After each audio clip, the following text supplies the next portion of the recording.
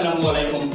নিউজের সর্বশেষ আন্তর্জাতিক সংবাদে সবাইকে আমন্ত্রণ জানাচ্ছি। সঙ্গে আছি আমি রাজীব।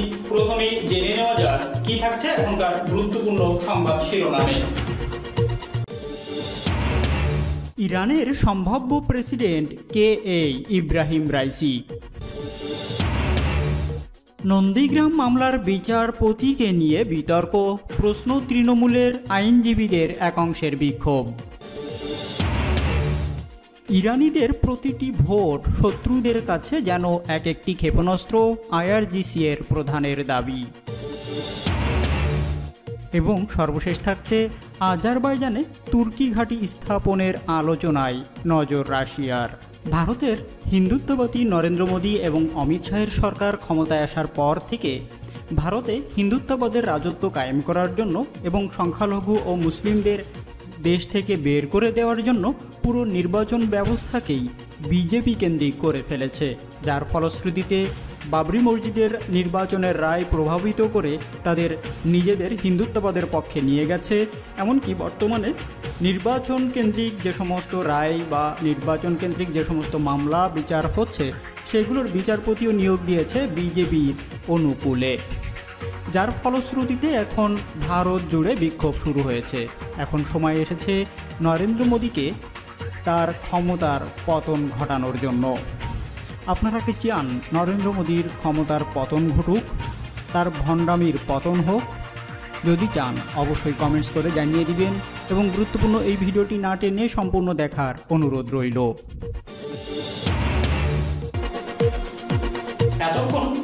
শিরোনামগুলো শুনছিলেন এখন বিস্তারিত। তবে তার আগে রিকোয়েস্ট থাকবে ভিডিওটিতে একটি লাইক করুন এবং আপনি যদি এই চ্যানেলটিতে নতুন হয়ে থাকেন চ্যানেলটি সাবস্ক্রাইব করে পাশে থাকা বেল আইকনটি অন করে দিন। ইরানের সম্ভাব্য প্রেসিডেন্ট কে এ ইব্রাহিম রাইসি? ইরানের প্রেসিডেন্ট নির্বাচন চলছে।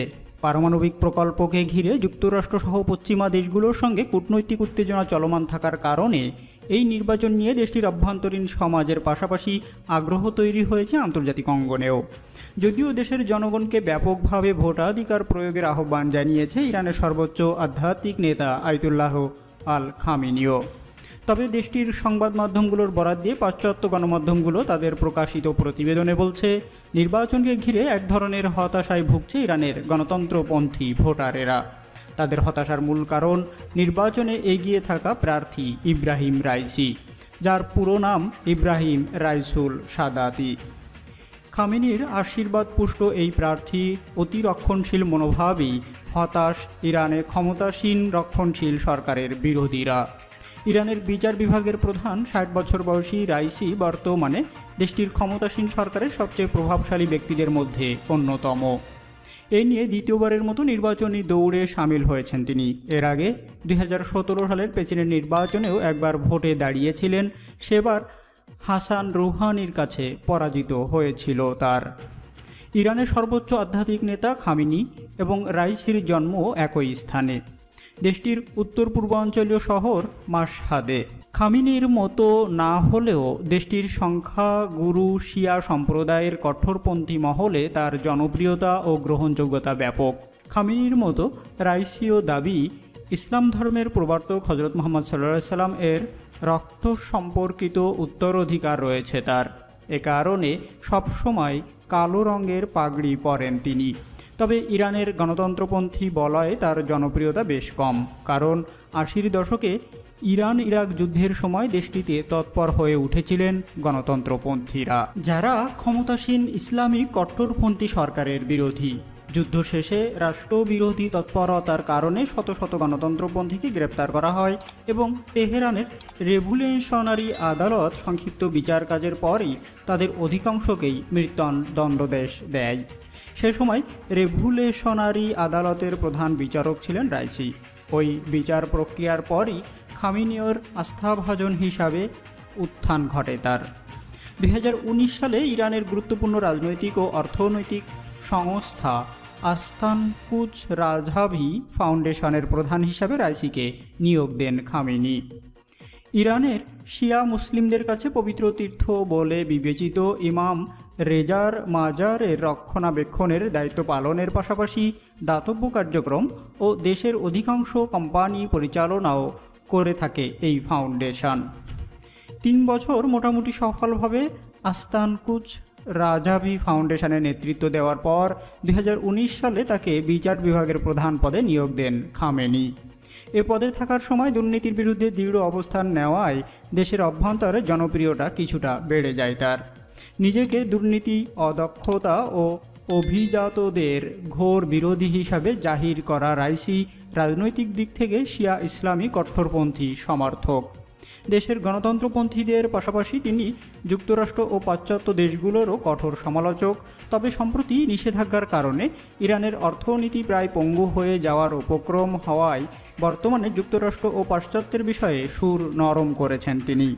দেশের গণতন্ত্রপন্থীদের মতে, যদিও তিনি দুর্নীতি ও অভিজাতদের বিরুদ্ধে উচ্চকণ্ঠ, কিন্তু প্রকৃতপক্ষে ইরানের বর্তমান যে দুর্নীতিগ্রস্ত প্রশাসন, তা গঠনে তার ভূমিকা আছে এবং তিনি নিজেও এই প্রশাসনেরই অংশ। ইরানের রাজনৈতিক ও আর্থসামাজিক পরিস্থিতি বিষয়ক বিশেষজ্ঞ আলী রেজা ইশরাঘি দেশটির সাম্প্রতিক প্রেসিডেন্ট নির্বাচন প্রসঙ্গে ফরেন রিলেশনস সাময়িকীতে লিখেছেন, এই নির্বাচনের মধ্য দিয়ে ইরানের রাজনীতিতে নিরাপত্তা বাহিনীর অবস্থান আরও শক্তিশালী হবে এবং দেশটির গণতন্ত্রপন্থীদের সঙ্গে রক্ষণশীলদের দ্বন্দ্ব নতুন মাত্রা পাবে। নন্দীগ্রাম মামলার বিচারপতিকে নিয়ে বিতর্ক, প্রশ্ন তৃণমূলের আইনজীবীদের এক অংশের বিক্ষোভ। ভারতের পশ্চিমবঙ্গে নন্দীগ্রাম বিধানসভার ফল সংক্রান্ত মামলায় কলকাতা হাইকোর্টের বিচারপতি কৌশিক চন্দ্রকে নিয়ে বিতর্ক সৃষ্টি হয়েছে। ওই ঘটনায় রাজ্যে ক্ষমতাসীন তৃণমূলের পক্ষ থেকে বিচারপতির বিজেপি যোগ থাকার দাবি করে তার নিরপেক্ষতা নিয়ে সংশয় প্রকাশ করা হয়েছে। শুক্রবার কলকাতা হাইকোর্ট চত্বরে আইনজীবীদের এক অংশ ওই ইস্যুতে বিক্ষোভ প্রদর্শন করেন। হাইকোর্টের আইনজীবীদের এক অংশের দাবি, বিচারপতি চন্দ বিজেপির সক্রিয় সদস্য ছিলেন।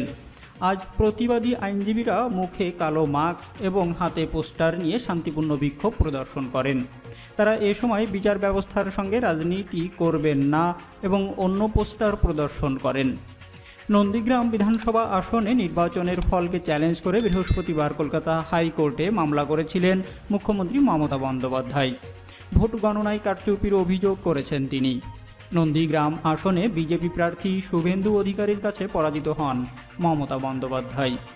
শুক্রবার ওই মামলা ওঠে বিচারপতি কৌশিক চন্দের সিঙ্গেল বেঞ্চে। এরপর থেকে বিচারপতির বিরুদ্ধে বিজেপির যোগের অভিযোগ ওঠায় বিতর্ক সৃষ্টি হয়েছে। আগামী বৃহস্পতিবার ওই মামলার শুনানি হবে। বিচারপতি চন্দ জানান, মামলাকারীকে, অর্থাৎ এক্ষেত্রে মুখ্যমন্ত্রী মমতা বন্দ্যোপাধ্যায়কে আদালতে উপস্থিত থাকতে হবে। এ প্রসঙ্গে তৃণমূলের সাধারণ সম্পাদক কুণাল ঘোষ বলেন, নন্দীগ্রাম মামলাটি রয়েছে মহামান্য কলকাতা হাইকোর্টের মহামান্য বিচারপতি কৌশিক চন্দের এজলাসে। কিন্তু যে ছবিগুলো সামনে আসছে, তাতে দেখা যাচ্ছে যে বিজেপির যে লিগাল সেল সেখানে তিনি উপস্থিত রয়েছেন। সেখানে বিজেপির রাজ্য সভাপতি দিলীপ ঘোষ বক্তব্য দিচ্ছেন। পাশে বিজেপির এক নেত্রী বসে আছেন। ফলে যিনি বিজেপির দরদি, বিজেপির সমর্থক, বিজেপির লিগাল সেলের প্রোগ্রাম অ্যাটেন্ড করেছেন, সেখানে আমি মানছি যে বিচারপতি কৌশিক চন্দ নিশ্চয়ই বিচারপতি হিসাবে যোগ্য, কিন্তু যেহেতু তার মনে বিজেপি সম্পর্কে একটা দুর্বলতা রয়েছে, ফলে তার অবচেতন মনে তার যে অনুভূতি সেটা তার নিরপেক্ষতাকে প্রভাবিত করতে পারে বলে যদি প্রশ্ন উঠে, তাহলে সেই প্রশ্ন তোলার অবকাশ কিন্তু থাকছে। বিচারপতি চন্দের উচিত ওই মামলাটি ছেড়ে দেওয়া বলে মন্তব্য করেন তৃণমূলের সাধারণ সম্পাদক ও মুখপাত্র কোনাল ঘোষ। এ প্রসঙ্গে রাজ্য সিনিয়র আইনজীবী অরুণব ঘোষ বিচারপতি কৌশিক চন্দ্র প্রসঙ্গে বলেন, আমি যতদূর জানি উনি কোনোদিনই বিজেপির সদস্য ছিলেন না। কিন্তু বিজেপির হয়ে কিছু মামলা লড়ে তিনি প্রথম শিরোনামে এসেছিলেন। রাজ্যের সিনিয়র আইনজীবী বিকাশ রঞ্জন ভট্টাচার্য বলেন, তিনি বিচারপতি হওয়ার পরে বিজেপির লিগাল সেলের সভার গেছেন কি না আমার জানা নেই। যদি বিচারপতি হওয়ার পরে সেখানে গিয়ে থাকেন তাহলে তা নিন্দনীয়। কিন্তু বিচারপতি হওয়ার আগে যদি গিয়ে থাকেন তাহলে তা নিয়ে এই ধরনের মন্তব্য করা অবাঞ্ছনীয়। ইরানিদের প্রতিটি ভোট শত্রুদের কাছে যেন এক একটি ক্ষেপণাস্ত্র, আইআরজিসি প্রধানের দাবি। ইরানের ইসলামী বিপ্লব গার্ড বাহিনী বা আইআরজিসি এর প্রধান মেজর জেনারেল হোসেন সালামি বলেছেন, ইরানিদের প্রতিটি ভোট শত্রুদের কাছে যেন এক একটি ক্ষেপণাস্ত্র। তিনি শুক্রবার তেহরানে নির্বাচনে নিরাপত্তা ও শৃঙ্খলা নিশ্চিতকরণ বিষয়ক এক বৈঠকে অংশগ্রহণ শেষে এই কথা বলেন। জেনারেল সালামি আরও বলেছেন, ইরানের শত্রুরা এবারের নির্বাচনের বিরুদ্ধে যুদ্ধের স্টাইল উঠে পড়ে লেগেছে। কিন্তু ইরানের জনগণ ভোটাধিকার প্রয়োগের মাধ্যমে শত্রুদেরকে জবাব দিচ্ছে। এক একটা ভোট শত্রুর উপর এক একটা ক্ষেপণাস্ত্রের মতো আঘাত হানছে, এর যেন শত্রুদের উপর ক্ষেপণাস্ত্র বৃষ্টি। তিনি বলেন, ব্যাপক ভোটার উপস্থিতি শত্রুদের সব অসৎ চিন্তা ও পরিকল্পনা নাস্বাত করে দেবে। আইআরজিসি এর প্রধান বলেন নির্বাচনকালীন নিরাপত্তা নিশ্চিত করতে তারা পুলিশ বাহিনীকে সার্বিক সহযোগিতা দিচ্ছে। ইরানের প্রেসিডেন্ট নির্বাচনের পাশাপাশি সিটি কাউন্সিল সহ স্থানীয় পরিষদের মূল নির্বাচন এবং পার্লামেন্ট ও বিশেষজ্ঞ পরিষদের মধ্যবর্তী নির্বাচনের ভোট গ্রহণও চলছে। সকাল সাতটা থেকেই ভোট কেন্দ্রগুলোতে ভোটারদের বিপুল উপস্থিতি দেখা যায়। তারা দীর্ঘ লাইনে দাঁড়িয়ে ভোটাধিকার প্রয়োগ করেছেন। ভোটার উপস্থিতি বেশি হলে প্রয়োজনে গভীর রাত পর্যন্ত ভোট গ্রহণ চলবে বলে কথা রয়েছে। আজারবাইজানে তুর্কি ঘাঁটি স্থাপনের আলোচনায় নজর রাশিয়ার। আজারবাইজানে তুরস্কের সামরিক ঘাঁটি গড়ে তোলার আলোচনায় নজর রাখছে রাশিয়া। শুক্রবার রুশ প্রেসিডেন্টের কার্যালয় ক্রিমলিন এই তথ্য জানিয়েছে। ব্রিটিশ বার্তা সংস্থা রয়টার্সের এক প্রতিবেদনে এই তথ্য জানা গেছে। ক্রিমলিনের মুখপাত্র দিমিত্রি পেসকভ জানান, দক্ষিণ ককেশাস অঞ্চলের পরিস্থিতি স্থিতিশীল করতে ন্যাটো সদস্য তুরস্কের সঙ্গে নিবিড় যোগাযোগ রাখছে রাশিয়া। গত বছর আজারবাইজান ও আর্মেনিয়া সংঘাতে জড়িয়ে পড়েছিল। তখন আজারবাইজানকে সমর্থন জানায় তুরস্ক। আর্মেনিয়া রাশিয়ার একটি সামরিক ঘাঁটি রয়েছে। মঙ্গলবার তুরস্ক ও আজারবাইজান সামরিক ক্ষেত্রে সহযোগিতা বাড়াতে সম্মত হয়েছে। আজারি প্রেসিডেন্ট ইলহাম আলিয়েভ জানান এমন সমঝোতায় রাজনৈতিক, অর্থনৈতিক, বাণিজ্যিক ও জ্বালানি ইস্যু রয়েছে। তবে সবচেয়ে গুরুত্বপূর্ণ হল আজারবাইজান ও তুরস্কের প্রতিরক্ষা খাত এবং দ্বিপক্ষীয় সামরিক সহযোগিতা। বৃহস্পতিবার তুরস্কের প্রেসিডেন্ট রজব তাইব এরদোয়ান আজারবাইজানে তুরস্কের সামরিক ঘাঁটি স্থাপনের বিষয়টি বাতিল করে দেননি। তিনি বলেন, আগামীতে অগ্রগতি হতে পারে। আজারবাইজানে তুরস্কের সম্ভাব্য সামরিক ঘাঁটির বিষয়ে ক্রিমলিনের মুখপাত্র দিমিত্রি পেসকভ বলেন, আমাদের সীমান্তের কাছে ন্যাটোর সদস্যের সামরিক অবকাঠামো মোতায়েন আমাদের বিশেষ মনোযোগ দাবি করে। একই সঙ্গে এটি আমাদের নিরাপত্তা ও স্বার্থের সুরক্ষা নিশ্চিত করার পদক্ষেপ নেওয়ার কারণও তৈরি করে। দক্ষিণ ককেশাস অঞ্চল সাবেক সোভিয়েত ইউনিয়নের অংশ ছিল। রাশিয়া অঞ্চলটিতে প্রভাব বজায় রেখে আসছে। গত বছর আজেরি ও আর্মেনিয়ার সংঘাতের পর নাগার্নো কারাবাকে শান্তিরক্ষী মোতায়েন করেছে মস্কো। এতক্ষণ সঙ্গে থাকার জন্য ধন্যবাদ। দেখা হচ্ছে পরবর্তী ভিডিওতে। ততক্ষণ পর্যন্ত ভালো থাকুন, সুস্থ থাকুন। আল্লাহ হাফেজ।